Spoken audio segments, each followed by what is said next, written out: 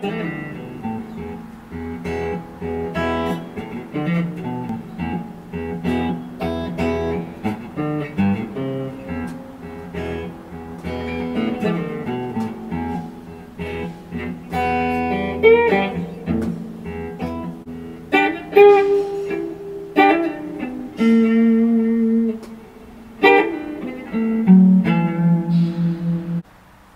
out today a beautiful green HSH with the tremolo and crap. There you go. And uh, you can see I got the back off. I did some adjustments for him on the tremolo.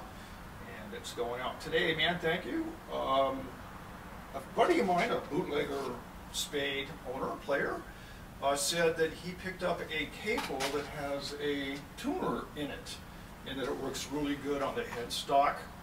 You have the string lockdown head for the headless guitar and you just clip it on the top and then you now have a really cool uh, on the guitar tuner.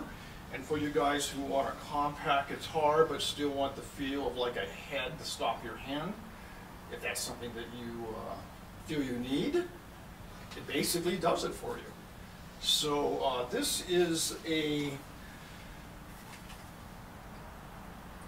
Graphtune GT, Grabtune GT100. I bought it on Amazon from Joe Woom, a Chinese company.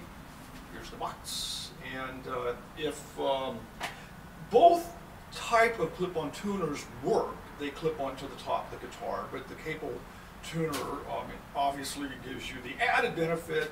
It fits really snugly, and then if you want a cable, you just slide it on and then you have a tuner. I didn't really know how I would like the LED light up tuner, but it works real well because it's got a sharp uh, A, B, C, D, E, F, G, then it's got a sharp light, so you can pretty easily tell if you're in tune or not. So um, I would suggest that. So this is shipping out today. Uh, how cool, huh? Hope you guys are all doing well and uh, stay cool. Thanks.